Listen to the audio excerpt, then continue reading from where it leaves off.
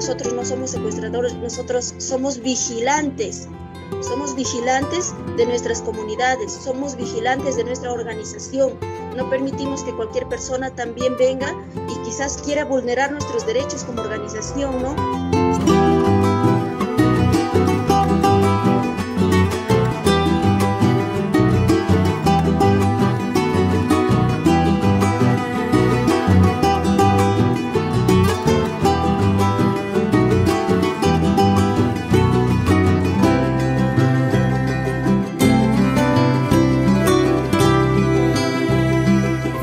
Un acta en ese sentido de que ellos no requerían o no deseaban denunciar el hecho hasta no conversar con sus directivos.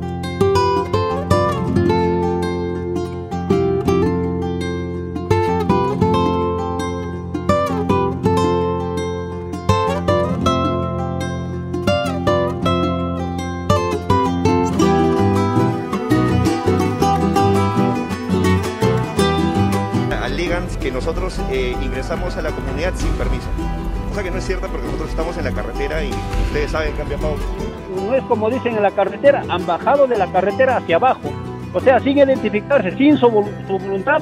Por eso lo hemos dicho, qué clase de profesionales quizás son para dar información, porque lo están coaccionando a las señoras para que hablen. Entonces, en ningún momento que digan que secuestro, que digan de una y otra manera, nosotros lo que hemos querido es que se identifiquen. ¿Y por qué a las, mm, a las madres de familia, a los niños, a dos niños le han preguntado de dónde van a salir los niños? O sea, contra su voluntad para que hablen, que cuántas veces ha venido la hija del presidente.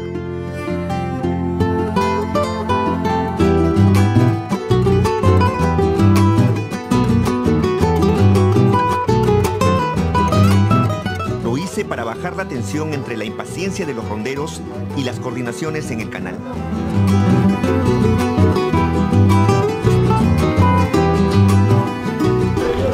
Vamos a guardar, está bien. Si no quieren hablar.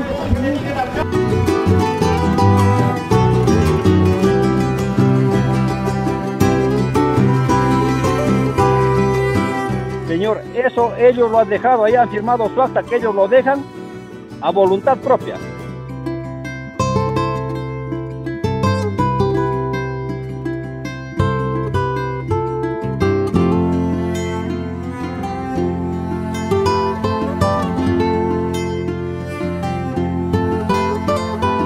Prensa nacional que solamente estos últimos tiempos se han encargado de tener que difamar, de tener que ensuciar y manchar a la organización de rondas campesinas. Más allá de eso, nosotros no, no estamos a favor de la corrupción como ellos lo llaman, que si se tiene que investigar, que se haga y que se llegue a la verdad, pero no más en tener que ensuciar y decir que nosotros los ronderos estamos a favor de la corrupción.